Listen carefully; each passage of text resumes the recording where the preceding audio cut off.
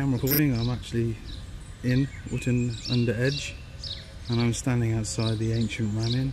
This is the place that I, uh, I've always wanted to go and visit and see if we can get a ghost down. Just going to give you a quick quick one, quick tour around, walk down the street. Just walk past the building, there's the, uh, the ancient Ram Inn sign. It's a very small road, it took me quite a while to find it but you can see we're coming up onto the building now. And I've just spoke to one of the neighbours and um, and he was actually telling me that um, is that uh, Mr Humphries is now in a home. He's now not a very well person at the moment so I'm going to see if I can try and get in touch with Caroline Humphries to see if we can get uh, get my group to come and do a ghost hunt here and let me just show you a bit more of the building itself. So let's going to walk down the road a little bit more. It's obviously the front entrance.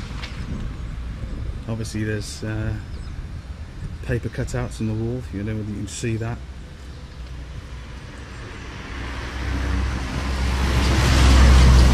Building itself, very small, not very big.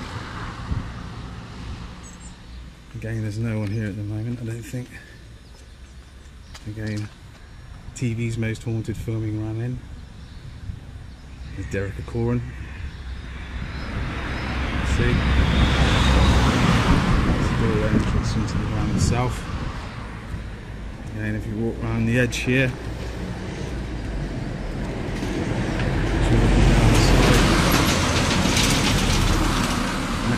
down into the area itself. But again, derelict.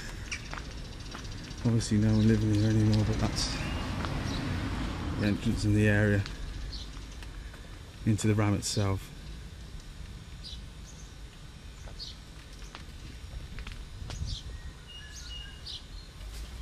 See it's van there. So yeah, that's pretty much it guys. Anyway, I just wanted to bring you down here just to see it. Um, just doing this bit of video diary just to show that I've actually been here. This is the first time that I've ever visited the ancient Ram Inn.